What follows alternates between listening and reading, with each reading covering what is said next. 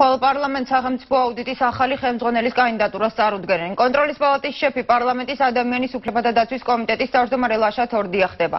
უმრავლესობაში უკვე დაადასტურეს, რომ თორდიას რიგგარეშე შესხდომაზე დაამტკიცებენ, თუმცა მანამდე მას მიხელ სააკაშვილი გაესაუბრება. ლაშა თორდიას ადგილს კომიტეტში ეკა ხერხეულიძე იკავებს, თუმცა იმის გამო, რომ ამოწოვის პარლამენტმა ფაქტობრივად ამოწურა მუშაობა, ხერხეულიძის კომიტეტის თავმჯდომარეობა ნომინალურია. ლემან ბეჯაშვილი სახელმწიფო აუდიტის ხელმძღვანელის თანამდებობიდან გუშინ გადადგა და მიზეზად კახეთის სტიქია დაასახელა.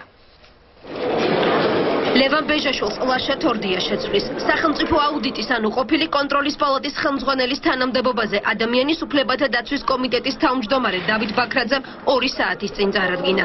მართველი გუნდი ბეჟაშვილის შემცვლელის კანდიდატურით კმაყოფილია სისტემა რომელიც რომელშიც ძირითადი თავარი მიმართულება იყო რაღაც გარკვეული საბჭოური რევიზორული მიდგომები ლიანობას ჩამოყალიბდა როგორც სახელმწიფო აუდიტის სამსახური.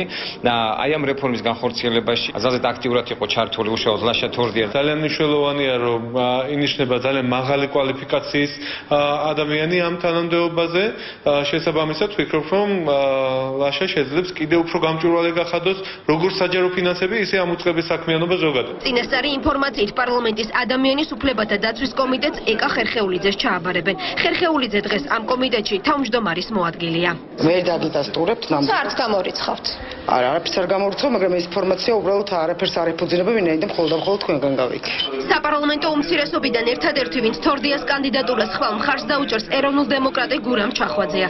ლაშა თორდია მისაღებია დიმიტრი ლორთქიფანიძისთვისაც, თუმცა უმცირესობის წარმომადგენელი ხვალინდელ კენჭისყრაში მონაწილეობისგან თავს მაინც შეიკავებს.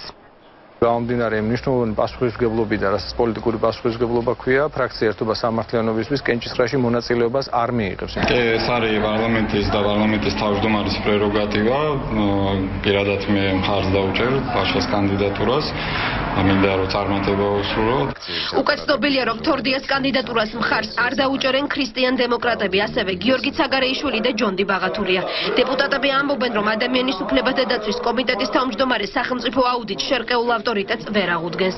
ბაქრაძის გადაწყვეტილების გახმაურებამდე გიორგი თარგამაძის გუნდმა ხელისუფლებას საკუთარი კანდიდატურაც კი შესთავაზა.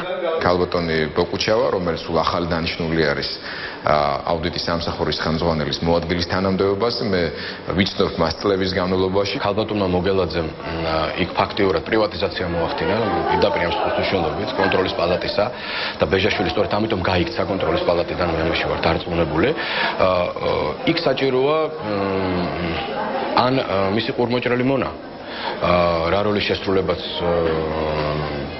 შეუძლია ძალიან მარტივად ბატონ თორდიას. ახალ თანამდებობასა და გეგმებზე ლაშა თორდია კომენტარს ამ დრომდე არაკეთებს. პარლამენტში დილიდან დაკეტილია მისი კაბინეტი, გამორთულია ტელეფონიც.